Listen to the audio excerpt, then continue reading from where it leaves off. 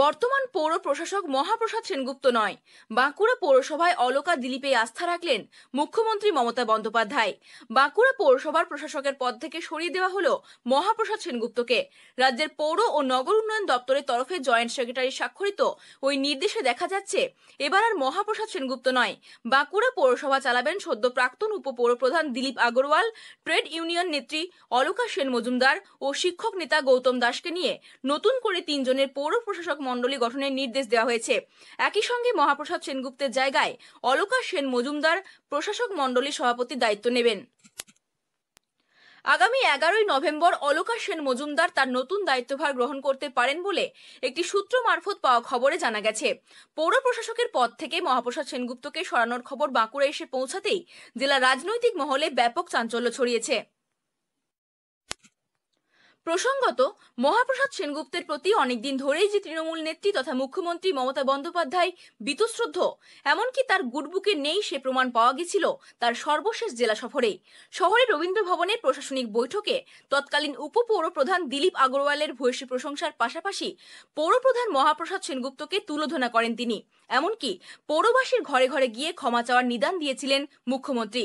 দায়িত্ব থেকে অব্যাহতি পাওয়ার খবর পাওয়ার পর মহাপ্রসাদ সেনগুপ্ত বলেন সবচেয়ে বড় কথা দু হাজার পনেরো নির্বাচনের পর আমাদের সর্বজন শ্রদ্ধা নেত্রী মমতা বন্দ্যোপাধ্যায় আমাকে পৌর প্রধানের দায়িত্ব দিয়েছিলেন। এটা তো আমার একটা বিশাল পাওনা। এবং আমি পাঁচ বছর সুষ্ঠুভাবে পৌর বোর্ড পরিচালনা করতে পারি সবাইকে সঙ্গে নিয়ে। এবং সবচেয়ে বড় আমার যেটা গর্ব যে বাঁকুড়া পৌরসভার ইতিহাসে সবচেয়ে প্রথম দক্ষিণপন্থী বোর্ড যে বোর্ডের বিরুদ্ধে কোনো অনাস্থা আসেনি। এই কারণেই যে প্রত্যেককে নিয়ে আমি একটা সংসারের মতো পৌরসভা চালিয়েছি। এবং সেই সুষ্ঠুভাবে পরিচালনা করতে পেরেছিলাম বলে আবার সরকার আমাকে পৌর প্রশাসকের মানে বোর্ড অফ অ্যাডমিনিস্ট্রেশনের দায়িত্ব দিয়েছিলেন। আবার দলের যে নবনিযুক্ত কমিটি তাতে আমি অন্যতম সাধারণ সম্পাদক। দল হয়তো আমাকে দলের আরও কোনো গুরুত্বপূর্ণ দায়িত্বে কাজে লাগাবেন সেই জন্যই এরকম প্রশাসনিক দায়িত্ব থেকে আমাকে অব্যাহত দিয়েছেন। না না আমি বিরোধীরা বিরোধীদের মতো বলে কোনো অসুবিধা নেই কিন্তু আমার মনে হয় দল আমাকে আরও কোনো গুরুত্বপূর্ণ কাজে লাগাবেন বলেই এই ধরনের সিদ্ধান্ত নিয়েছেন। নতুন দায়িত্ব পেয়ে অলকা সেন মজুমদার কি বলেছেন? আসুন শুনে নেওয়া যাক। আমাকে দল দায়িত্ব দিয়েছে। আমি চেষ্টা করব প্রথমেই এক থেকে চব্বিশটা ওয়ার্ডে প্রত্যেকটা মানুষের সঙ্গে যোগাযোগ করা। মানুষের অভাব, অভিযোগ আমি নিশ্চয়ই শুনব এবং আমাদের যিনি পৌরপ্রধান ছিলেন মহাপ্রসাদ সেনগুপ্ত, উনিও এক থেকে চব্বিশটা ওয়ার্ডে প্রচুর কাজ করেছেন। ওনারও পরামর্শ আমি নেব। আমাদের বাঁকুড়া বিধানসভা বিধায়কও আছেন ওনাদেরও পরামর্শ নেব এবং বাঁকুড়ার জনগণ, বিশিষ্ট যারা জনগণ রয়েছে, তাদের পরামর্শ নিয়ে আগামী দিনে যাতে পৌরসভায় ভালো জায়গায় আসে, এক থেকে চব্বিশটা ওয়ার্ডের যাতে মানুষের কাজ করতে পারি অভাব অভিযোগ যাতে আমরা আমি শুনতে পারি। আমি নিশ্চয়ই তো শুনবই এবং মানুষের যাতে কাজ করতে পারি সে আপ্রাণ চেষ্টা করব। তৃণমূলের গোষ্ঠীদ্বন্দ্বের ফল মনে করছে বিজেপি। দলের নেতা নীলাদ্রি দানা বলেন তৃণমূলের একটা গোষ্ঠীদ্বন্দ্বের ফলাফল সেই ফলটা আজকে আমরা দেখতে পেলাম বাঁকুড়া পৌরসভাতেও। যে প্রশাসকের ভূমিকায় ছিলেন তার সম্পূর্ণ পৌরসভার পৌর পিতা হিসাবে তিনি ব্যর্থ। আমি একজন নির্বাচিত ওখানের প্রতিনিধি, বারবার সমস্ত উন্নয়নের কাজ বলা সত্ত্বেও তিনি কোনোদিন কর্ণপাত করতেন না।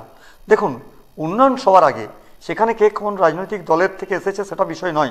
তো সেখানে যখন আমাদেরকে আমল দেওয়া হয়নি, সেটা হয়তো তাদের ঊর্ধ্বতন কর্তৃপক্ষ নজরে এসেছে এবং তাদের দোলাদলি। আজকে বিভিন্ন দল ওদের মধ্যে ভেদাভেদ চলছে। তাই একজনকে তাড়িয়ে হয়তো সেখানে কিছু সব ভাবমূর্তিকে ফিরিয়ে নিয়ে আসার লক্ষ্যে আরেকজনকে হয়তো বসালো। কিন্তু সেটা অনেক দেরি হয়ে গেছে।